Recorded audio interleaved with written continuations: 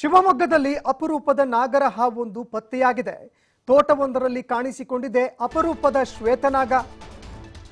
ಈ ಶ್ವೇತನಾಗವನ್ನು ನಾವು ನೋಡೋದಾದ್ರೆ ಬಹಳಷ್ಟು ಅಪರೂಪವಾಗಿ ಕಂಡುಬರುತ್ತೆ. ಬಿಳಿ ಬಣ್ಣದ ಹಾವಾಗಿರುತ್ತೆ ಶ್ವೇತ ಬಣ್ಣದ ನಾಗರ ಹಾವಿದು. ತೋಟವೊಂದರಲ್ಲಿ ಕಾಣಿಸಿಕೊಂಡಿದೆ ಅಪರೂಪದ ಶ್ವೇತನಾಗ. ಅಪರೂಪದಲ್ಲಿ ಅಪರೂಪವಾಗಿರುವಂತಹ ಶ್ವೇತನಾಗವಿದು. ಯಾಕಂದ್ರೆ ಎಲ್ಲೂ ಹೆಚ್ಚಾಗಿ ಕಾಣಲಿಕ್ಕೆ ಸಿಗೋದಿಲ್ಲ. ಯಾಕಂದ್ರೆ ಬ್ಲ್ಯಾಕ್ ಕೋಬ್ರಾ ಆಗಿರಬಹುದು ಅಥವಾ ಸಾಮಾನ್ಯವಾಗಿ ಕಂಡುಬರುವಂತಹ ನಾಗರ ಹಾವುಗಳನ್ನು ನೋಡಿರ್ತೀವಿ. ಆದರೆ ಅಪರೂಪದಲ್ಲಿ ಅಪರೂಪವಾಗಿರುವಂತಹ ಶ್ವೇತನಾಗ ಬಹಳಷ್ಟು ಕಡಿಮೆಯೇ ಕಂಡುಬರುತ್ತೆ. ಶಿವಮೊಗ್ಗದ ರಾಮಿನಕೊಪ್ಪದಲ್ಲಿ ಆಲ್ಬಿನೋ ಕೋಬ್ರಾ ಪತ್ತೆಯಾಗಿದೆ. ಇದನ್ನು ಆಲ್ಬಿನೋ ಕೋಬ್ರಾ ಅಂತ ಕೂಡ ಕರೆಯಲಾಗತ್ತೆ. ಮೂರು ನಾಲ್ಕು ದಿನದಿಂದ ಕಾಣಿಸಿಕೊಂಡಿದ್ದ ಶ್ವೇತನಾಗರ ಹಾವು. ಇದರಿಂದ ಭಯಗೊಂಡು ಸ್ನೇಕ್ ಕಿರಣ್ಗೆ ಕರೆ ಮಾಡಿದ್ದಾರೆ ಕುಟುಂಬಸ್ಥರು. ಉರಗ ತಜ್ಞ ಕಿರಣ್ರನ್ನ ಫೋನ್ ಮಾಡಿ ಕರೆಸಿಕೊಂಡಿದ್ದಾರೆ. ಸದ್ಯ ಶ್ವೇತನಾಗರ ಹಾವನ್ನ ಹಿಡಿದು ರಕ್ಷಣೆ ಮಾಡಿದ್ದಾರೆ ಉರಗ ತಜ್ಞ ಕಿರಣ್. ಆಲ್ಬಿನೋ ಕೋಬ್ರಾ, ಬಿಳಿ ನಾಗರ ಹಾವಿದು. ಇದು ಕಾಣಿಸ್ಕೊಳ್ಳೋದೇ ಬಹಳಷ್ಟು ಅಪರೂಪ. ಅಚ್ಚರಿ ಮೂಡಿಸಿದೆ ಶ್ವೇತನಾಗರ ಹಾವಿನ ಪ್ರತ್ಯಕ್ಷ. ಯಾಕಂದ್ರೆ ಅಪರೂಪವಾಗಿ ಕಂಡುಬರುವಂತಹ ಹಾವು ಕಂಡು ಬಂದ ತಕ್ಷಣ ಇಲ್ಲಿ ಉರುಗ ತಜ್ಞನನ್ನ ಕರೆಸಿ ಆ ಹಾವನ್ನ ರಕ್ಷಣೆ ಮಾಡುವಂತಹ ಕೆಲಸವನ್ನ ಕೂಡ ಆ ಗ್ರಾಮಸ್ಥರು ಮಾಡಿದ್ದಾರೆ.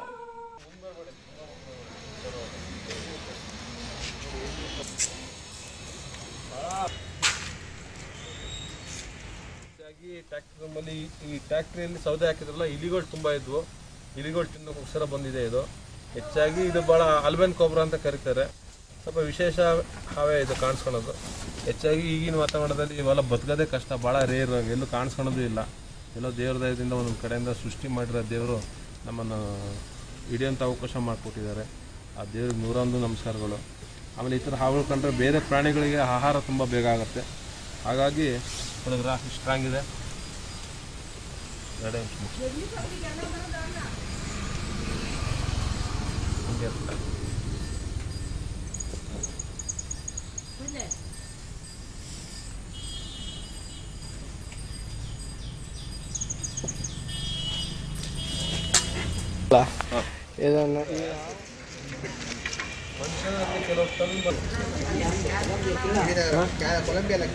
ಸರ್ ಸರ್ ನೀವು ನೀ rare species of white snake Kiran ಎಷ್ಟು ಅಡಿ ಇದೆ ಇದು?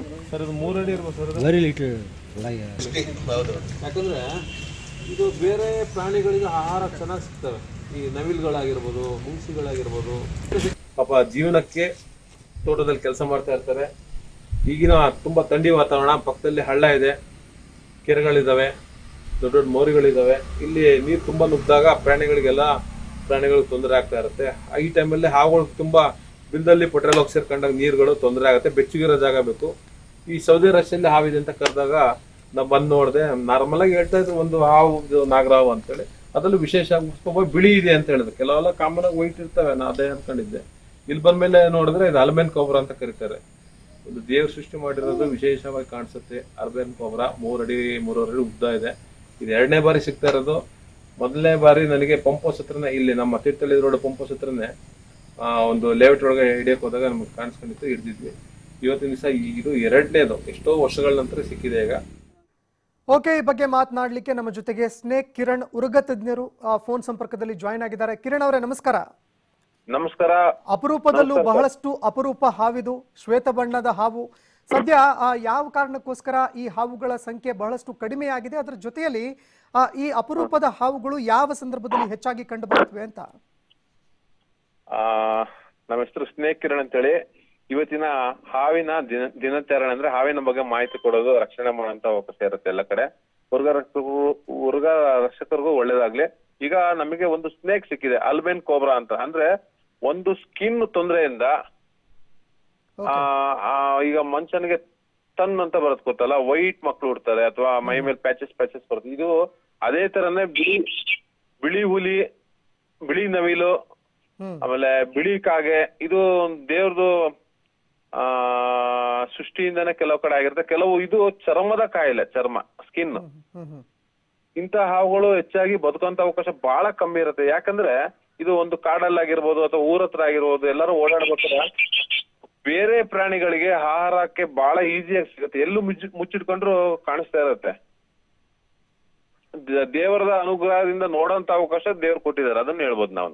ಮತ್ತೆ ವಿಷ ಆ, ಕೆಲವ್ರು ಅಂತಾರೆ ಈಗ ಇದಕ್ಕೆ ವಿಷ ಜಾಸ್ತಿ ಇರ್ಬೋದಾ?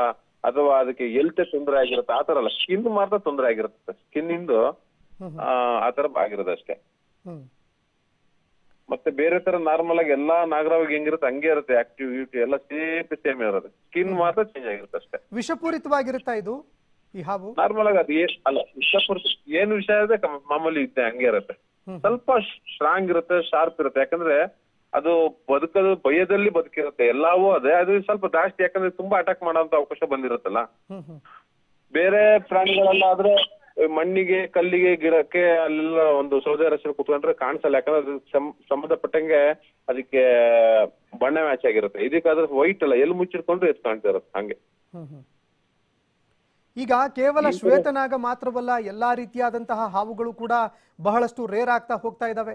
ಈ ನಡುವೆ ಜನರಿಗೆ ಏನ್ ಹೇಳಲಿಕ್ಕೆ ಇಚ್ಛೆ ಪಡ್ತೀರಿ ಇವತ್ತು ವಿಶ್ವ ಹಾವಿನ ದಿನ ದಿನಾಚರಣೆ ಹೆಚ್ಚಾಗಿ ನಂತರದ್ದು ಜನಗಳಿಗೆ ಪ್ರಕೃತಿ ಪರಿಸರ ತಕ್ಕಂಗೆ ಪ್ರತಿಯೊಂದನ್ನು ಸೃಷ್ಟಿ ಮಾಡಿದ ದೇವರು. ಅದು ಯಾವ್ದು ಯಾರು ಕಮ್ಮಿ ಮಾಡಕ್ಕಾಗಲ್ಲ ಯಾವ್ದು ಬ್ಯಾಲೆನ್ಸ್ ನಾವು ಕಟ್ ಮಾಡಕ್ಕೂ ಆಗಲ್ಲ. ಯಾಕಂದ್ರೆ ಅದೆಲ್ಲ ಇದ್ರೆ ನಿಮ್ ಜೀವನದಲ್ಲಿ ನೆಮ್ಮದಿ ಇರುತ್ತೆ.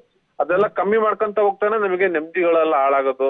ನಮ್ ಜೀವನದಲ್ಲಿ ತೊಂದರೆ ಎಲ್ಲ ಬರಬಹುದು ಅಂತ ಹೇಳ್ತೀನಿ. ಆಮೇಲೆ ಪ್ರಾಣಿಗಳು ಆಗ್ಲಿ ಇರ್ಬೋದು ಎಲ್ಲದೂ ಅಷ್ಟೇ ನಾವು ತೊಂದರೆ ಕೊಡಕ್ ಹೋಗ್ಬಾರ್ದು. ಈಗ ಹಾವು ಮನೆ ಹತ್ರ ಬಂದಾಗ ಅದನ್ನ ಓಡಿಸೋದು ಗೊತ್ತಿಲ್ಲದೆ ಕೈಯಲ್ಲಿ ಇಡ್ಸಕ್ ಹೋಗೋದು ಅಥವಾ ತೊಂದರೆ ಕೊಡೋದು ತೊಂದರೆ ಮಾಡ್ಕೊಳೋದು. ಅದೆಲ್ಲ ಮಾಡ್ಕೋಬಾರ್ದು ಯಾರಾದ್ರೂ ಯಾರು ಹುರ್ಗ ರಕ್ಷಕರು ಸುತ್ತಮುತ್ತಲ ಪ್ರತಿಯೊಂದು ಊರಲ್ಲಿ ಇರ್ತಾರೆ. ಒಳ್ಳೆ ಜನ ಹಿಡಿದಿ ಕಾಡಿಗೆ ಅಂತ ಅವಸ್ಥೆ ಮಾಡ್ತಿರ್ತಾರೆ. ಹಾಗಾಗಿ ಅಂತವ್ರು ಸಿಕ್ಕಿದಾಗ ಅದನ್ನ ಕರೆ ಮಾಡಿ ನಿಮಗೆ ತೊಂದರೆ ಆಗ್ತಿದ್ರೆ ಹಾವನ್ನ ಇಡಿಸಿ ಒಳ್ಳೆ ಕಡೆ ಬಿಡೋ ಅಂತ ಅವಕಾಶ ಮಾಡಿದ್ರೆ ಖಂಡಿತ ನಿಮ್ಗೆ ಹಾವಿನ ತೊಂದರೆ ಆಗಲ್ಲ. ಓಕೆ, ಹಾವುಗಳಲ್ಲೂ ಕೂಡ ಬಹಳಷ್ಟು ಕಡಿಮೆ ಹಾವುಗಳು ಮಾತ್ರ ವಿಷಪೂರಿತವಾಗಿರ್ತವೆ. ಇನ್ನು ಉಳಿದ ಹಾವುಗಳನ್ನು ನಾವು ನೋಡಿದಾಗ ಬಹಳಷ್ಟು ಹೆಚ್ಚಿನ ಹಾವುಗಳು ವಿಷಪೂರಿತ ಆಗಿರೋದಿಲ್ಲ ಅನ್ನೋದು ಕೂಡ ನಿಜ. ಆದ್ರೆ ಜನರು ಭಯ ಬಿದ್ದು ಅವುಗಳ ಮೇಲೆ ಹಲ್ಲೆ ಮಾಡಿದಾಗ ಮಾತ್ರ ಕಡಿತವೆ ಅಲ್ವಾ ಅವು? ಖಂಡಿತ. ಆಗಲು ಮತ್ತೆ ಜನ ಭಯದಿಂದ ಸಾಯೋದ್ ಜಾಸ್ತಿ. ಹಾವು ಖಚಿತವಾಗಿ ಸಾಯೋದ್ ಕಮ್ಮಿ ಭಯದಿಂದ. ಹಾರ್ಟ್ ಅಟ್ಯಾಕ್ ಆಗ್ಬೋದು. ಬ್ಲಡ್ ಪ್ರೆಷರ್ ಜಾಸ್ತಿ ಆಗ್ಬೋದು. ಆ ಭಯದಲ್ಲಿ ಅವ್ರಿಗೆ ಏನ್ ಮಾಡ್ಬೇಕು ಅಂತಾನೆ ಗೊತ್ತಾಗಲ್ಲ. ಹಂಗಾಗಿ ಹಾವು ಕಂಡಾಗ ಭಯ ಇರುತ್ತೆ. ಜೀವದ ಭಯ ಸಾವಿನ ಭಯ. ಅದಕ್ಕಿಂತ ಹೆಚ್ಚಾಗಿ ತಾಳ್ಮೆ ಇದ್ಬಿಟ್ರೆ ಖಂಡಿತವಾಗ್ಲು ಅವಾಗ ಐಡಿಯಾಗಳು ಬರ್ತವೆ. ಏನೇನ್ ಮಾಡ್ಬೇಕಂತ ಯೋಚನೆಗಳು ಬರ್ತವೆ. ಹೆಚ್ಚಾಗಿ ಅಲ್ಲಿ ಒಬ್ಬ ಮನುಷ್ಯ ಆ ಭಯದಲ್ಲಿ ಇದನ್ನು ಸಮಾಧಾನ ಮಾಡುವಂತದ್ದು ಇರ್ಬೇಕು. ಜಾಸ್ತಿ ಜನ ಅದನ್ನು ಅವನಿಗೆ ಎದುರಿಸ್ಬೋದು ಅಥವಾ ಹೇಳೋ ಕ್ವಶನ್ಗಳಿಗೆ ಭಯ ಆಗ್ಬೋದು. ಹಂಗಾಗತ್ತೆ.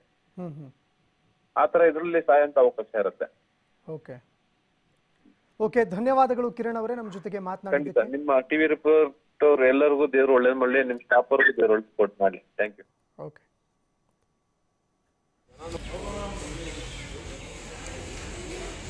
ಪಾಪ ಜೀವನಕ್ಕೆ ನಾವು ಒಂದು ವಾರದಿಂದ ಮನೆ ಸುತ್ತಲೂ ಸುತ್ತಾಡ್ತಾ ಇತ್ತು. ಓಕೆ. ಅದೇನು ಮಾಡ್ತಿದ್ದಲ್ಲ. ಬರೀ ಮನೆ ಅಂತಾನೆ ಒಳಗಡೆ ಬರೋದು ಸಣ್ಣ ಪಾಪ ಇತ್ತು. ಅದ್ರ ಅದ್ರೆ ಬೇರೆ ನಮ್ಮ ಅಮ್ಮ ಹುಷಾರಿಲ್ಲ. ಪಾಪ ಹಾ ಅಪ್ಪ ಬೇರೆ ತೋಟದಲ್ಲಿ ಅಡ್ಡಾಡ್ತಾ ಇದ್ರು. ಅಡ್ಡಾಡ್ತಿದ್ರು. ಅದಕ್ಕೆ ಸ್ನೇಹ ನಮ್ ಅವರು ನಮ್ಮ ಸೌಕಾರ ಅಮ್ಮವ್ರ ಕಡೆಯಿಂದ ಇಸ್ಕೊಂಡ್ ನಂಬರ್ ರಚನಾ ಮೇಡಮ್. ಅಂತ ಅದೇ ಒಂದು ವಾರದಿಂದ ಅವ್ರ ಅವ್ರ ಇಸ್ಕೊಂಡು ಅವ್ರ ಕಡೆಯಿಂದ ನಂಬರ್ ಇಸ್ಕೊಂಡು ಈಗ ಸ್ನೇಹ ಕಿರಣ್ ಅವ್ರಿಗೆ ಫೋನ್ ಮಾಡಿದ್ವಿ. ಸೌದೆ ಎಲ್ಲ ಒಂದು ಟ್ಯಾಕ್ಟರ್ ಒಂದು ಸೌದೆ ಇತ್ತು. ಎಲ್ಲ ಕಿತ್ತಾಕಿ ಹುಡುಕಿ. ಇತ್ತು ಸಿ- ಹೊರಗಡೆ ಬಂದಿತ್ತು